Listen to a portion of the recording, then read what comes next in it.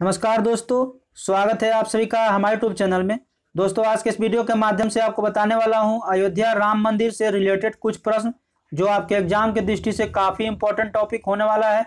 अयोध्या मंदिर का पाँच अगस्त को प्रधानमंत्री श्री नरेंद्र मोदी के द्वारा भूमि पूजन करके आधारशिला रखी गई, और इससे रिलेटेड आपके एग्ज़ाम में बहुत सारे प्रश्न बनेंगे। तो वीडियो को लास्ट तक अवश्य देखिएगा।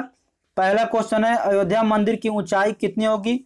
तो इसका सही आंसर हो जाएगा एक सौ इकसठ फीट पहले इसकी ऊंचाई एक सौ इकतालीस फीट थी, लेकिन अब इसकी ऊंचाई एक सौ इकसठ फीट होगी। नेक्स्ट क्वेश्चन है, कौन सी कंपनी अयोध्या मंदिर का निर्माण करेगी? तो इसका सही आंसर हो जाएगा L N T L N T company के द्वारा अयोध्या मंदिर का निर्माण किया जाएगा।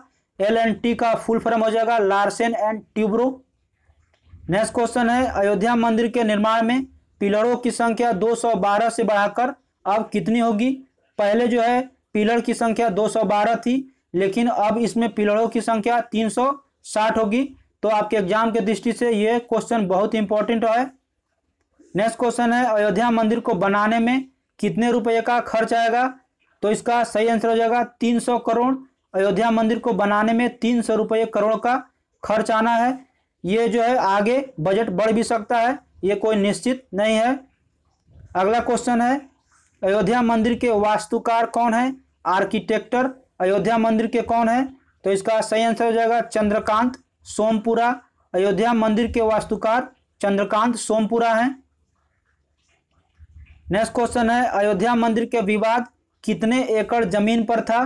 तो इसका सही आंसर हो जाएगा two point seven seven Ayodhya मंदिर का विवाद टू पॉइंट सेवन एकड़ ज़मीन पर था। नेक्स्ट क्वेश्चन है, अयोध्या का प्राचीन नाम क्या था? अयोध्या का प्राचीन नाम फैजाबाद था। ये आपके एग्ज़ाम के दृष्टि से काफ़ी इंपॉर्टेंट क्वेश्चन बन सकता है।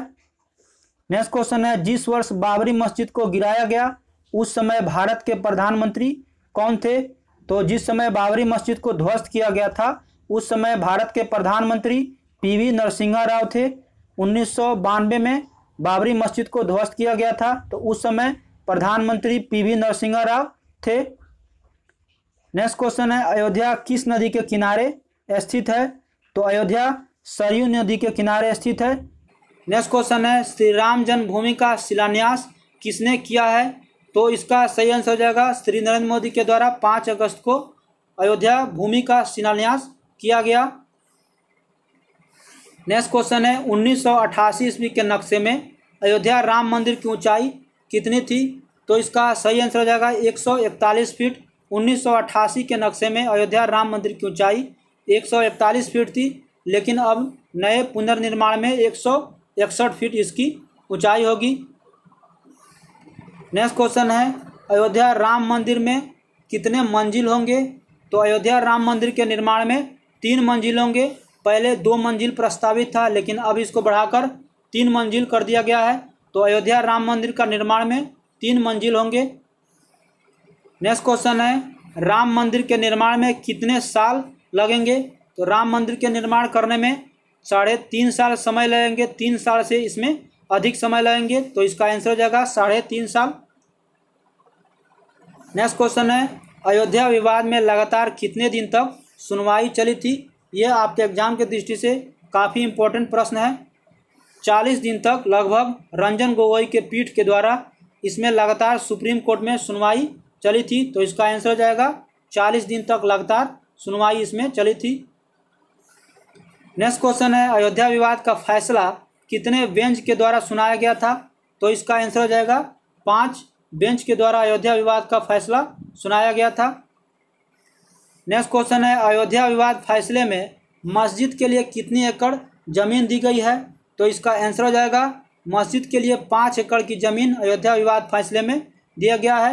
ये प्रश्न आपके एग्ज़ाम की दृष्टि से काफ़ी वी प्रश्न बन सकते हैं। नेक्स्ट क्वेश्चन है, अयोध्या विवाद के में सुप्रीम कोर्ट का अंतिम फैसला कब दिया गया था? तो 9 नवंबर 2019 को अयोध्या विवाद में सुप्रीम कोर्ट का अंतिम फैसला दिया गया था। नेक्स्ट क्वेश्चन है, बाबरी मस्जिद को किस वर्ष बनाया गया था। बाबरी मस्जिद को बाबर के द्वारा, सेनापति द्वारा पंद्रह सौ अट्ठाईस ईस्वी में बनाया गया था।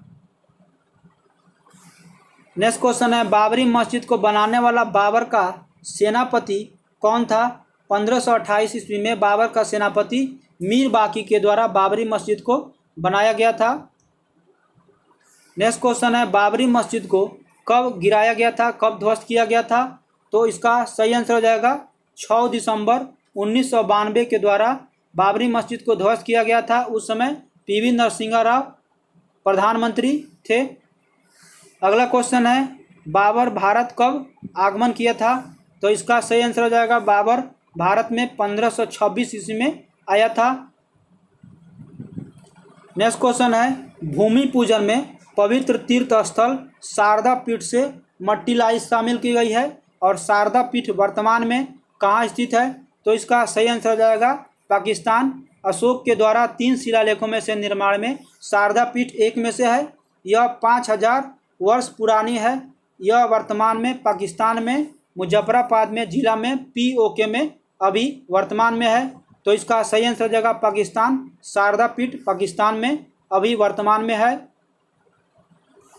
नेक्स्ट क्वेश्चन है, राम मंदिर से पहले राम भवन गमन पथ कितने किलोमीटर लंबा बनेगा? तो इसका सही आंसर हो जाएगा तीन सौ किलोमीटर सॉरी इसका तीन सौ पचहत्तर किलोमीटर।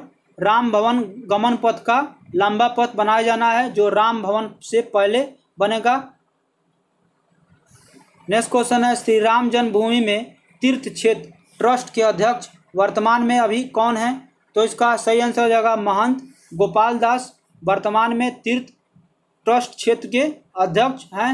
तो आपके एग्ज़ाम के दृष्टि से मैंने टोटल कुछ चुनिंदे प्रश्न, चौबीस प्रश्न लिए हैं, जो आपके एग्ज़ाम की दृष्टि से काफ़ी इंपॉर्टेंट है। मैंने उन्हीं प्रश्नों को शामिल किया गया जो आपके एग्ज़ाम की दृष्टि से पूछे जाएँगे। तो वीडियो अच्छा लगे तो इसे लाइक शेयर अवश्य करें, ताकि आपके दोस्तों को भी इसका लाभ मिल सके। मिलते हैं नए अपडेट के साथ। तब तक के लिए जय हिंद, जय भारत।